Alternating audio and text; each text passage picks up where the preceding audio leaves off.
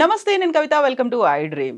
IPL twenty twenty five ఆప్షన్లో record స్థాయిలో వేలం పాట ఎందుకని కొనసాగింది? టాప్ ఫైవ్లో ఇండియన్ ప్లేయర్సే ఎందుకున్నారు? అందరికంటే అన్నిటికంటే ముఖ్యంగా మాట్లాడుకోవాల్సింది రిషబ్ పంత్ గురించి. ఎందుకని రిషబ్ పంత్? అంత హాట్ ఫేవరెట్ అయ్యాడు. మనతో పాటుగా ఉన్నారు sports commentator and analyst Venkatesh గారు. వెంకటేష్ గారు నమస్కారం గారు మనం గతంలో మాట్లాడుకున్నప్పుడు మీరు ఒక మాట చెప్పారు. రిషబ్ పంత్ హాట్ ఫేవరెట్ అవుతాడు హై డిమాండ్ అనేది తనకు ఉంటుంది అని. నిన్న మనం చూసినప్పుడు ఇప్పటిదాకా ఐపీఎల్ హిస్టరీలో రానంత ఇరవై ఏడు కోట్లు. ఎందుకంత డిమాండ్ ఉంది రిషబ్ పంత్కి? అది యాక్చువల్గా నో బ్రెయినర్ అండి. ఎందుకంటే ఇప్పుడు ఆక్షన్లో ఉన్న ప్లేయర్స్ని చూస్తే దాంట్లో రిషబ్ పంత్కు ఉన్న స్పెషల్ స్కిల్ సెట్ అనండి. అతని positivity the kind of enthusiasm that he brings to the brings on the field అదే చెప్పాడు ఇప్పుడు మీరు ఎల్ఎస్జి ఓనర్ సంజీవ్ గోయింకా తర్వాత ప్రెస్ మీట్ అడ్రస్ చేస్తే ఏం చెప్పాడంటే రిషబ్ పంత్ ఒక పాజిటివిటీ తీసుకొస్తాడు టీం మనం చూస్తాం కదా స్టంప్స్ వెనకాల ప్లేయర్స్ని ఎంకరేజ్ చేయడం కానీ మూడ్ని లైట్ అని చేస్తాడు. చాలా చాలా చిరిపి క్యారెక్టర్ ఏదో మాట్లాడుతూనే ఉంటాడు.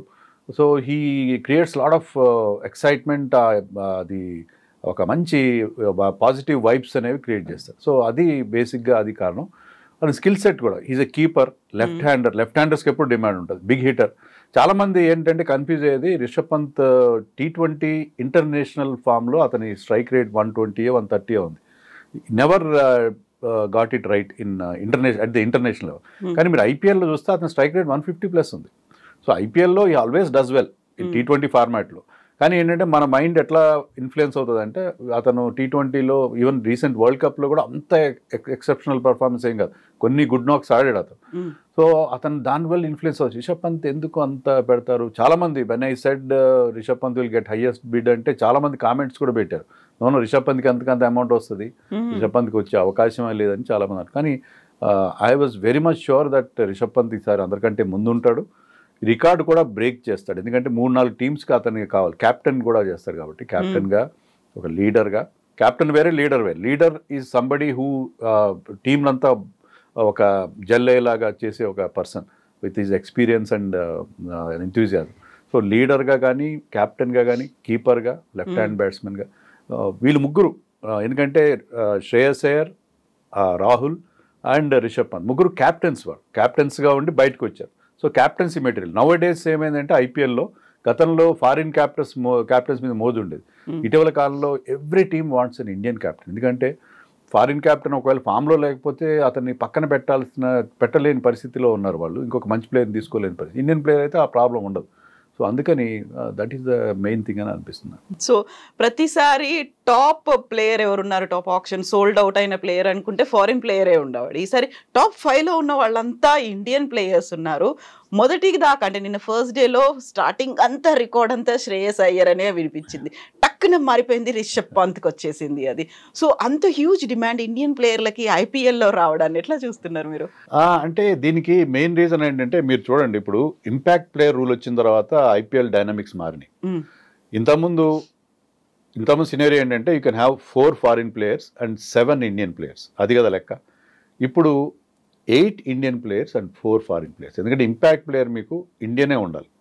ఇంపాక్ట్ ప్లేయర్ ఫారిన్ ప్లేయర్ ఉండదు. ఎప్పుడు మీకు ముగ్గురిని మాత్రం మీ స్టార్టింగ్ లైనప్లో ఫారిన్ ప్లేయర్స్ పెట్టుకుంటే you can have a fourth so మీకు మొత్తం ఇప్పుడు IPL is played by twelve players not eleven players so twelve ప్లేయర్స్లో మీకు ఫోర్ మాత్రమే ఫారిన్ ప్లేయర్స్ ఉండాలి. ఒక ఎక్స్ట్రా ఇండియన్ ప్లేయర్ కూడా ఉండాల్సి వస్తుంది. సో అందుకని ఇండియన్ ప్లేయర్స్ డిమాండ్ పెరిగింది. సో ఇండియన్ ప్రీమియర్ లీగ్ అని పేరు పెట్టుకున్న గతంలో ఒక విమర్శ ఉండేది. అంతా ఫారినర్స్ డబ్బులు బోల్డని డబ్బులు సంపాదించుకున్నారు. బుమ్రాకి పద్నాలుగు కోట్లు ఏంటి స్టార్క్ కమిన్స్కి ఇరవై కోట్లు పాతి కోట్లు ఏంటని గతంలో చాలా విమర్శలు వచ్చినాయి. కానీ ఇప్పుడు ఏంటంటే ఎప్పుడైతే ఇంపాక్ట్ ప్లేయర్ రూల్ వచ్చిందో మీకు ఎనిమిది మంది ఇండియన్ ప్లేయర్స్ కావాలి. మీకు పక్కాగా కావాలి. సో ఎక్స్ట్రా ఇండియన్ ప్లేయర్ కావాలి. ఇండియన్ ప్లేయర్స్ ఇప్పుడు మీరు ముంబై చూడండి చెన్నై చూడండి. They one five titles each వాళ్ళు ఎప్పుడు కూడా వాళ్ళ కోర్ ఇండియన్ టీం చాలా స్ట్రాంగ్గా ఉంటుంది. ముంబైలో ఈసారి వాళ్ళు రిటైన్ చేసుకున్న ప్లేయర్స్ ఐదుగురు కూడా ఇండియన్స్ రిటైన్ చేస్తున్నారు. సో కోర్ ఇండియన్ ప్లేయర్స్ స్ట్రాంగ్గా ఉండాలనేది అంటే పోను పోను సెవెంటీన్ సీజన్స్ అయింది IPL. So franchises have realise the importance of Indian players ఇంకోటి కూడా ఏంటంటే మీకు మినీ ఆక్షన్స్లో ఫారిన్ ప్లేయర్స్కి పెద్ద అమౌంట్ వెళ్తారు. ఎందుకంటే ఇండియన్ ప్లేయర్స్ అందరూ ఎవరి దగ్గర ఉన్న వాళ్ళని అట్టే పెట్టుకుంటారు. ఎవరిని రిలీజ్ చేయరు. సో ఫారిన్ ప్లేయర్స్ కొంతమంది ఎక్సైటింగ్ ప్లేయర్స్ సడన్గా ఆక్షన్లోకి వస్తారు. వాళ్ళు కూడా తెలివిగా ఏం చేస్తున్నారంటే మెగా ఆక్షన్ రాకుండా మినీ ఆక్షన్లో వస్తారు. సో వాళ్ళకి పెద్ద అమౌంట్లు కొట్టేస్తున్నారు. కానీ ఎప్పుడైతే మీ మినీ మెగా ఆక్షన్ జరుగుతుందో మెగా ఆక్షన్లో చాలామంది ఇండియన్ ప్లేయర్స్ కూడా వస్తారు. మీరు గతంలో కూడా చూడండి మెగా ఆక్షన్లో ఎప్పుడు కూడా ఇండియన్ ప్లేయర్స్కి టాప్ బిట్స్ వస్తాయి. ఇవర్ లాస్ట్ టైం కూడా Ishan Kishan got the top bid when mega auction held last time twenty టూలో అనుకుంటా. సో ఇది అదొక ట్రెండ్ అయితే ఉన్నది mega auction but Jan in general ఏంటంటే franchises have realise that Indian players are more important foreign players ఉండాలి మీకు కానీ ఇండియన్ ప్లేయర్స్ మంచి మంచి ఇండియన్ ప్లేయర్స్ ఉండడం చాలా ముఖ్యం అనేది ఫ్రాంచైజెస్ అందరూ రియలైజ్ అయ్యారు సో రియలైజేషన్ అక్కడ ఇంపార్టెన్స్తో పాటుగా ప్రెషర్ అనేది కూడా ఉన్నట్టుంది. డిమాండ్లు కూడా different different IPL auction purely works on demand and supply basis అండి. మనకి ఎంత పలానా ప్లేయర్కి ఎంత డిమాండ్ ఉంది సప్లై ఎంత ఉంది. ఇప్పుడు Hmm. వికెట్ కీపర్ అనుకోండి వికెట్ కీపర్లకి ఐదు టీంకి వికెట్ కీపర్లు కావాలి. కానీ అక్కడ మీకు మంచి క్వాలిటీ కీపర్స్ ఆరేడుగురు ఉన్నారు. సో వాళ్ళకి అందుకే wicket keepers are going for big amounts so pressure కూడా అట్లాగే కనిపిస్తోంది కదా?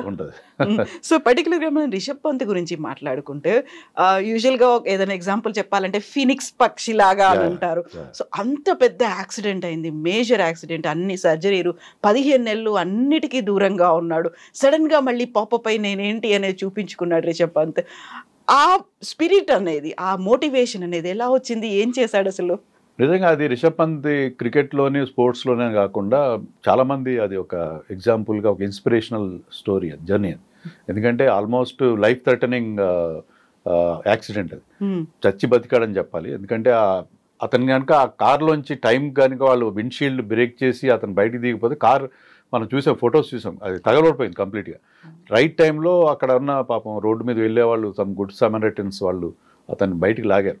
లేకపోతే చాలా సీరియస్. ఈవెన్ నా తర్వాత కూడా అతనికి మల్టిపుల్ ఫ్రాక్చర్స్ ఉన్నాయి కానీ బోల్డెన్ ఆపరేషన్స్ అయినాయి. ఆరు నెలలు ఏడు నెలలు నడవలేని పరిస్థితి. తర్వాత కూడా మనం వీడియోస్ చూసాం అతను స్టిక్ పట్టుకుని నడవడం తర్వాత చాలా కష్టపడడం. సో అలాంటి సిచ్యుయేషన్ నుంచి the way he came back. తన వెయిట్ని కంట్రోల్ ఇప్పుడు గమ్మత్ ఏంటంటే ఇదివరకు కంటే కూడా ఇప్పుడు వెయిట్ తక్కువ ఉన్నాడు. Before accident he was weighing more ఇప్పుడు తన డైట్ విషయంలో కానీ తన ఫిజికల్ అంటే అది చాలా మీకు ఏళ్ళ తరబడి అంటే దాదాపు మీరు కేవలం ఫిజికల్ ఫిట్నెస్ చేస్తూ మీరు దాంట్లో ఉండడం అంటే చాలా డిప్రెసింగ్గా ఉంటుంది. కానీ అంతా he has gone through all that thing and came back strongly సరే ఫిజికల్గా పూర్తిగా నయమైపోయింది అనుకున్నాం. వచ్చి వరల్డ్ కప్ ఆడాడు. వరల్డ్ కప్లో కూడా కొన్ని కీ పర్ఫార్మెన్సెస్ ఇచ్చాడు.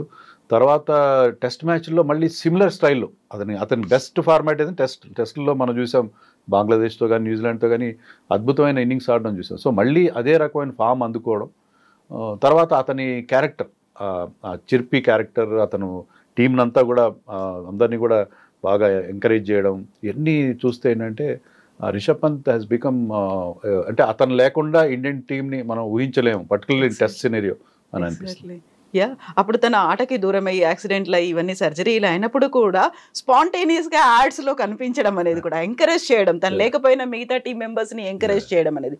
ఒక దశలో కపిల్ దేవ్ చాలా తీవ్రంగా ఆగ్రహం వ్యక్తం చేశాడు. నాకు ఎదురుగా కనిపిస్తే నేను కొడతానేమో అనే ఫీల్ వచ్చింది. రవిశాస్త్రి కూడా కోలుకోలేడు ఇంకా మళ్ళీ ఆడలేడేమో అనే స్టేజ్ నుంచి కూడా ఇంత దూరం రావడం. యూజువల్గానే క్రికెట్ అనగానే వాళ్ళకి కావాల్సినటువంటి ఫిజికల్ స్టామినా. ప్రతిరోజు ఆడాల్సిన అవసరం. ఉంటుంది. అంత దూరమైన పదిహేను నెలలు లేకపోయినప్పటికీ కూడా ఏం చేశాడంటాడో? ఆ స్పిరిట్ అనేది ఎలా తెచ్చుకున్నాడు అసలు? అదే అండి అతని దగ్గర పాజిటివ్ ఎనర్జీ ఉందండి. బోల్డ్ అంత పాజిటివ్ ఎనర్జీ ఉంది. సో అంత సీరియస్ యాక్సిడెంట్ అయితే చాలా మంది డిప్రెషన్లోకి వెళ్ళిపోతారు. కానీ he manage to come out of it strong come out strongly. Come అది అతనుకున్న ప్రత్యేకతగా మనం చెప్పుకోవాలి. సో.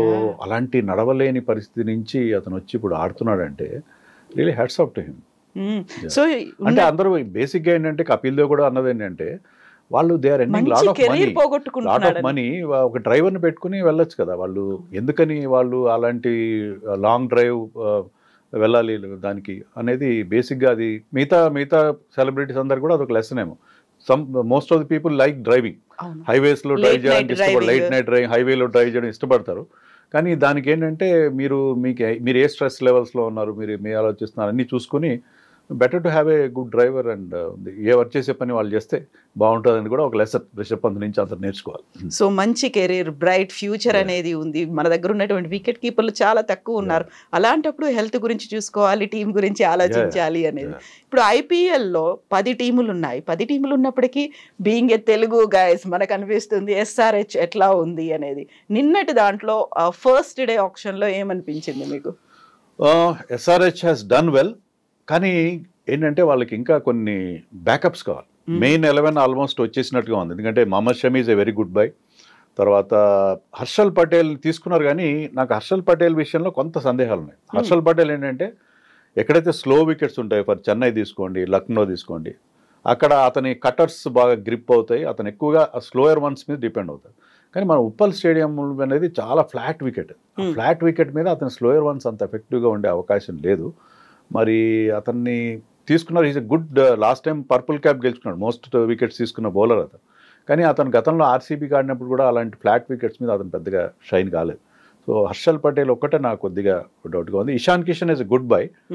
ఖచ్చితంగా మంచి సెలక్షన్ ఇషాన్ కిషన్ కానీ ఇషాన్ కిషన్ ఎక్కడ ఫిట్టింగ్ చేస్తారు? వీళ్ళకి వికెట్ కీపర్ అవసరం లేదు. Henry Klaasen is a keeper Ishan Kishan is mostly successful as an opener కానీ వీళ్ళు ఓపెనర్ సెట్ అయి ఉన్నారు ఇద్దరు. Travis Head and Abhishek Sharma దాన్ని డిస్టర్బ్ చేసే పరిస్థితే లేదు. అండ్ వాళ్ళిద్దరూ లెఫ్ట్ హ్యాండర్స్ ఇషాన్ కిషన్ కూడా లెఫ్ట్ హ్యాండర్. సో మీరు అతను నెంబర్ త్రీలో కూడా ఆడించుకోలేరు. వరుసగా మూడు లెఫ్ట్ హ్యాండర్స్ ఎవరు ఆడించారు.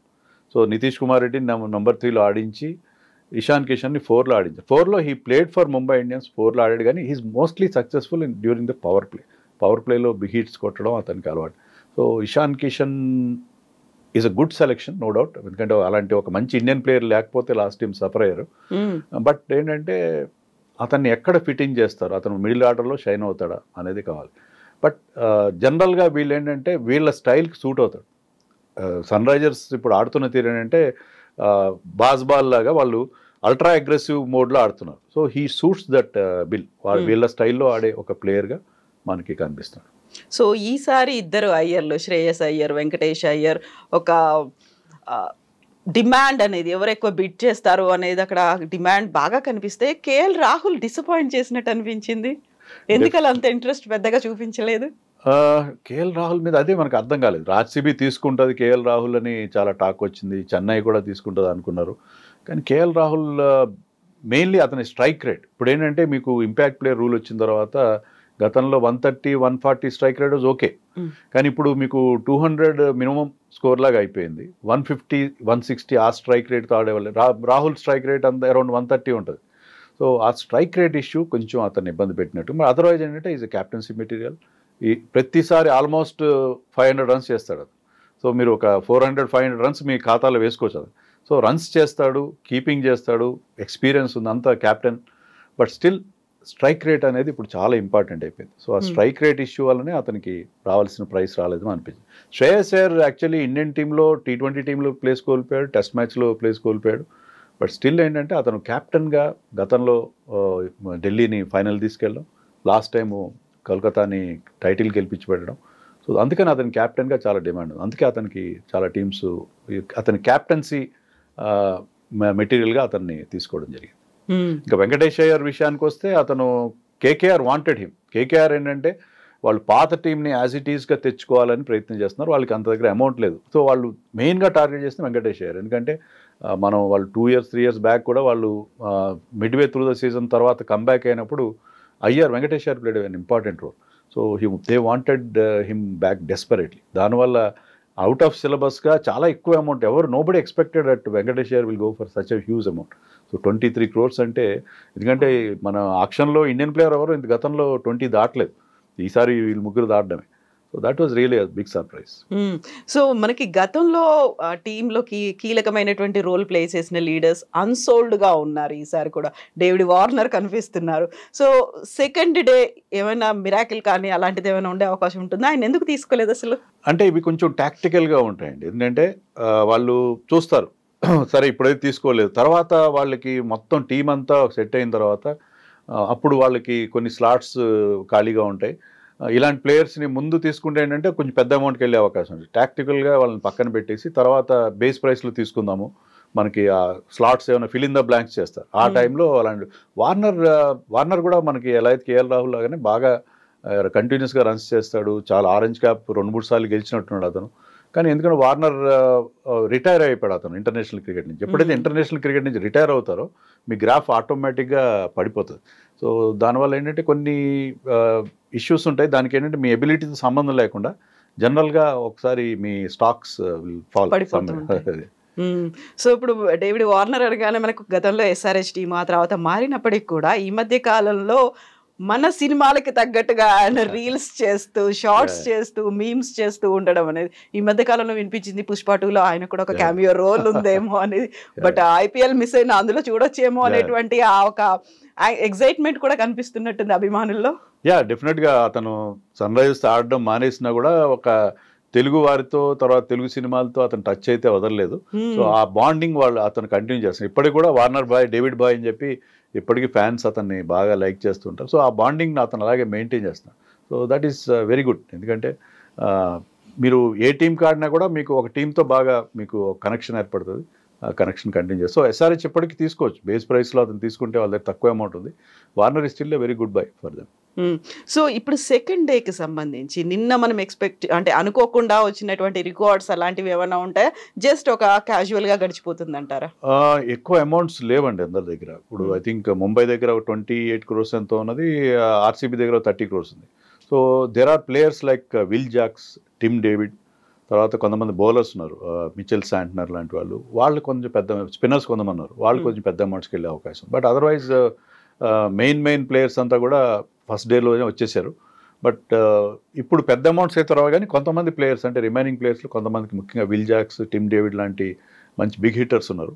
వాళ్ళ కోసం పెద్ద అమౌంట్స్ వెళ్ళే అవకాశం. ఉంది. సో ఫస్ట్ డే అయిపోయిన తర్వాత లేట్ నైట్ స్క్వాడ్స్ ఎవరెవరు ఎందులో ఎంతమంది ఉన్నారు అని తెలిసిన తర్వాత ఆల్రెడీ అనాలిసిస్లు అనేవి మొదలైపోయాయి. ఐపీఎల్ ట్వంటీ ట్వంటీ ని ఎవరు గెలుచుకోపోతారు? ఎవరికి అలా ఉంది? ప్రాబబుల్స్ అనేది. Do you believe all these things అండి ఇంకా టైం ఉందంటారా? టైం ఉందండి. డెఫినెట్గా టైం ఉంది. ఎందుకంటే ముంబై ఇండియన్స్ వాళ్ళు అసలు ఏమి అసలు వాళ్ళు టెంట్ బోర్డు తప్ప చెప్పుకోదగ్గ ప్లేయర్ ఎవరిని తీసుకోలేదు. వికెట్ కీపర్ వాళ్ళకి అవసరం. ఓన్లీ ఒక బ్యాకప్ కీపర్ని రాబిన్ మింజ్ అనే బ్యాకప్ కీపర్ని మాత్రం తీసుకున్నారు. సో ముంబై ఇండియన్స్కి ఐదుగురు బ్రహ్మాండమైన ప్లేయర్స్ ఉన్నారు. టెన్ బోర్డ్ లాంటి బౌలర్ ఇప్పుడు జాయిన్ అయ్యాడు but still they have to fill up five slots Hmm. ఇంక ఎలవెన్లో వచ్చే వాళ్ళు ఎవరు లేరు వాళ్ళకి ఇంకా. సో ముంబై ఇండియన్స్ కానీ ఆర్సీబీ కానీ ఇంతవరకు వాళ్ళు రియల్గా ఎంటర్ కాలేదు. సో సెకండ్ డే అంతా కూడా ఈ రెండు టీమ్స్ మీద ఫోకస్ ఉంది. అమౌంట్ కూడా వాళ్ళ దగ్గర ఉంది. I think Gujarat Titans and KKR have done well Chennai కూడా బాగా చేశారు. చెన్నై వాళ్ళు ఆ, ఇద్దరు New Zealand players Devon Conway and Rachin Ravindra అని చాలా చీప్గా ఇద్దరిని కలిపి పది కోట్ల లోపే వాళ్ళు తెచ్చేసుకున్నారు. తర్వాత అశ్విన్ అండ్ నూర్ అహ్మద్ కాస్త ఎక్కువ అమౌంట్ పెట్టారు. బట్ చెన్నైలో ఎప్పుడు మీకు ఆ పిచ్ మీద స్పిన్నర్స్కి చాలా హెల్ప్ ఉంటుంది. సో ఇద్దరు మంచి క్వాలిటీ స్పిన్నర్స్ కూడా తీసుకోవచ్చు Chennai also must be very happy with their buy buy so ఇప్పటికైతే ఆల్ సెట్ ఫర్ మార్చ్ అన్నట్టుగా ఎదురు చూస్తున్నట్టున్నారు వ్యూవర్స్ అందరూ. ఇంత huge demand of hot favourites ఇంతమంది కనిపించిన తర్వాత. సో ఆ టైం అంతా సో గతంలో కంటే ఈసారి ఎక్కువ వ్యూవర్స్ ఎక్కువ ఉంటారా? ఎట్లా అనిపిస్తుంది మీకు? యా ఐపీఎల్ బ్రాండ్ వాల్యూ పెరుగుతూనే ఉంది. అందులోనూ మీకు ఇంపాక్ట్ ప్లేయర్ రూల్ వచ్చిన తర్వాత the number of fours and sixers పెరుగుతున్నాయి. సో మీకు ఎంటర్టైన్మెంట్ వాల్యూ మరింతగా పెరగడం అనేది చూద్దాం. అందుకే ఇంపాక్ట్ ప్లేయర్ రూల్ వల్ల ఇండియన్ క్రికెట్కి బ్రహ్మాండమైన డ్యామేజ్ జరుగుతుంది. Hmm. ఎందుకంటే మీకు పార్ట్ టైం బౌలర్స్ రావట్లేదు. ఆల్రౌండర్స్కి అసలు ఇంపాక్ట్ ప్లేయర్ ఉండడం వల్ల మీకు ఆల్రౌండర్స్ అనేవాళ్ళు భవిష్యత్తులో మనకి ఐపీఎల్ నుంచి ఎమర్జీ అవకాశమే లేదు. అయినా కూడా ఇంపాక్ట్ ప్లేయర్ వల్ల ఐపీఎల్ కమర్షియల్ వాల్యూ విపరీతంగా పెరుగుతుంది. ఐపీఎల్కి ఉన్న ఎంటర్టైన్మెంట్ వాల్యూ పెరుగుతుంది. సో దానివల్ల మీరు లాస్ట్ సీజన్ పర్టికులర్గా మీకు పెద్ద పెద్ద స్కోర్లు రావడం ఆల్మోస్ట్ త్రీ హండ్రెడ్ టచ్కి అయ్యే పరిస్థితి కనిపించడం అనేది మనం చూసాం. So I think IPL impact player rule వచ్చిన తర్వాత ఐపీఎల్ మరింత ఎంటర్టైనింగ్గా మారిందని నాకు అనిపిస్తుంది. సో టూ నైన్టీలు క్రాస్ అయ్యి త్రీ హండ్రెడ్లు క్రాస్ అయ్యేటువంటి అది ఓకే. బాగానే ఉంది కానీ బట్ ఇన్ జనరల్ మనకి ఏమవుతుందంటే ఇండియన్ క్రికెట్కి మనం ఆల్రౌండర్స్ లేక ఇప్పుడు నితీష్ కుమార్ రెడ్డి లక్కీగా ఎమర్జ్ అయ్యాడు. సో అలాంటి ఆల్రౌండర్స్ ఉంటే మనకి చాలా బాగుంటుంది పరిస్థితి. కానీ మనకి ఇంపాక్ట్ ప్లేయర్ రూల్ వల్ల చాలా పెద్ద డ్యామేజ్ జరుగుతుంది ఇండియన్ క్రికెట్ అని అనుకోవాలి. సో నితీష్ కుమార్ అనగానే ఎస్ఆర్హెచ్ ఓన్ చేసుకుంది. నాట్ ఓన్లీ ఎస్ఆర్హెచ్ ఐపీఎలే కాకుండా ఆయన ఓవరాల్ గేమ్ ప్లే ఎట్లా ఉందనుకుంటున్నారు మీరు? అద్భుతం అండి. అతను I think he will not forget this year two thousand twenty four. ఎందుకంటే టూ థౌజండ్ ట్వంటీ ఫోర్లో లాస్ట్ ఇయర్ ఐపీఎల్లో కొన్ని మ్యాచ్లు ఆడాడు బ్యాటింగ్ రాలేదు బౌలింగ్ కొన్ని ఓవర్లు వేసాడు ఈ ఇయర్లో ఐపీఎల్లో బ్రహ్మాండంగా షైన్ అయ్యాడు. షైన్ అయిన తర్వాత ఇండియాకి అయితే టీ ట్వంటీలో బ్రహ్మాండంగా పర్ఫామ్ చేశాడు. ఐపీఎల్ రిటెన్షన్లో అతనికి మంచి అమౌంట్ వచ్చింది. ప్లస్ నవ్వు ఇప్పుడు టెస్ట్ మ్యాచ్లో అతని సెలక్షన్ చాలా మంది క్రిటిసైజ్ చేశారు. షార్దుల్ ఠాకూర్ లాంటి వాళ్ళు ఉన్నారు కదా ఇలాంటి అతను ట్వంటీ ట్వంటీ ఫైవ్ మ్యాచెస్ కూడా ఆడలేదు first class cricket how can you pick him in test matches అని చెప్పి ముఖ్యంగా ముంబై లాబీ షార్దుల్ ఠాకూర్ని బ్యాక్ చేస్తున్న ముంబై లాబీ వాళ్ళు దే క్వశ్చన్ ఈ సెలక్షన్ దొడ్డ గణేష్ కానీ జతిన్ పరాజ్ ఫార్మర్ క్రికెటర్స్ చాలామంది అతని సెలక్షన్ క్వశ్చన్ చేశారు. వాళ్ళందరి నోళ్ళు సక్సెస్ఫుల్గా మోయించాడు. ఫస్ట్ ఇన్నింగ్స్లో చాలా టఫ్ సిచ్యుయేషన్లో మంచి బ్యాటింగ్ చేశాడు. టాప్ స్కోరర్గా నిలిచాడు పెర్త్ టెస్ట్లో సెకండ్ ఇన్నింగ్స్లో క్విక్ రన్స్ కావాల్సి వచ్చినప్పుడు ఈ went into T twenty mode one forty strike రేట్తో quick runs కూడా ఇచ్చాడు. So twenty one year old boy playing ఆస్ట్రేలియాలో పెద్ద స్టేడియం. ఆ స్టేడియం చూస్తేనే మీకు ఒకసారి గాబరా పడతారు. అలాంటి is a very very confident cricketer confident young cricketer bowling కొంచెం ఇంప్రూవ్ చేసుకోవాలి. బౌలింగ్ కనుక ఇంప్రూవ్ చేసుకుంటే అతను మనం ఎదురు చూస్తున్న ఆ ఫాస్ట్ బౌలింగ్ ఆల్రౌండర్ కోసం మనం మన చాలా రోజుల నుంచి ఎందుకంటే ఇర్ఫాన్ పఠాన్ తర్వాత మనకి ఎవరు దొరకలేదు. హార్- హార్దిక్ పాండ్యా ఉన్నా కూడా he's not playing red ball cricket. So ఆ రోల్ని అతను బ్రహ్మాండంగా ఫిలప్ చేసే అవకాశం కనిపిస్తుంది. సో ఈ మధ్య కాలంలో తెలుగు పేర్లు రెండు తిలక్ వర్మ ఒకటి నితీష్ కుమార్ ఒకటి. వీళ్ళ ఫ్యూచర్ వాళ్ళ ప్లే అనేది ఎలా ఉందండి అసలు? అద్భుతంగా ఇద్దరు కూడా ఇద్దరికి ఇద్దరు కూడా వచ్చిన అవకాశాలను సక్సెస్ఫుల్గా ఉపయోగించుకోండి తెలక్ వర్మ చూడండి ఇంజరీ వల్లనండి లేకపోతే టీంలో ఉన్న కాంపిటీషన్ వల్ల లాస్ట్ ఈ జనవరి తర్వాత అతనికి ఇండియన్ టీంలో ఛాన్స్ దొరకలేదు. కానీ లేట్గా ఛాన్స్ వచ్చింది because some players are playing test cricket దాన్ని అద్- అద్భుతంగా యూజ్ చేసుకున్నాడు. రెండు వరుస సెంచరీలు కొట్టడం Hmm. అంటే. సో ఇప్పుడు అతని టీంలో తన ప్లేస్ని ఫిక్స్ చేసుకునే ఒక పరిస్థితికి వచ్చాడు. సో ఈ యంగ్స్టర్స్ ఏంటంటే వాళ్ళకి ఎబిలిటీ ఉంది కాన్ఫిడెన్స్ కూడా ఉంది. దీనికి ఐపీఎల్ ప్రధాన కారణం అనిపిస్తుంది నాకు. ఎందుకంటే ఐపీఎల్లో they are playing in front of huge crowds మంచి ప్రెషర్ సిచ్యుయేషన్లో ఆడుతున్నారు. క్వాలిటీ అపోజిషన్ ఫేస్ చేస్తున్నారు. దానివల్ల ఏంటంటే వాళ్ళు ఇంటర్నేషనల్ క్రికెట్ వెళ్ళినప్పుడు వాళ్ళు రెడీమేడ్ ప్రోడక్ట్స్గా ఉంటున్నారు. ఇంటర్నేషనల్ క్రికెట్కి వెళ్ళినప్పుడు వాళ్ళకి ఎలాంటి బెరుకు లేకుండా మనకు కనిపిస్తుంది. ఈవెన్ రమణ్ దీప్ సింగ్ అనే కొత్త ప్లేయర్ అతను ఫస్ట్ బాల్ సిక్స్ కొట్టాడు ఇంటర్నేషనల్ క్రికెట్లో. సో వాళ్ళకి ఆ కాన్ఫిడెన్స్ ఎక్కడి నుంచి వస్తుందంటే బికాజ్ ఐపీఎల్లో వాళ్ళు ఈ ప్రెషర్ కానీ ఇలాంటివి కూడా వాళ్ళు ఎక్స్పీరియన్స్ అయ్యారు. సో ఇంటర్నేషనల్ క్రికెట్ వాళ్ళు కొత్తగా అనిపించట్లేదు. సో ఈ యంగ్ క్రికెటర్స్కి ఐపీఎల్ వల్ల ఈ మేల్ జరుగుతుంది. బట్ మనం అనుకున్నట్టుగా డ్యామేజ్ ఎక్కడ అవుతుందంటే ఇంపాక్ట్ ప్లేయర్ రూల్ వల్ల. ఎగ్జాక్ట్లీ ఎస్ అండి. Thank you so much Venkatesh గారు. థ్యాంక్ యూ అండి. Thank you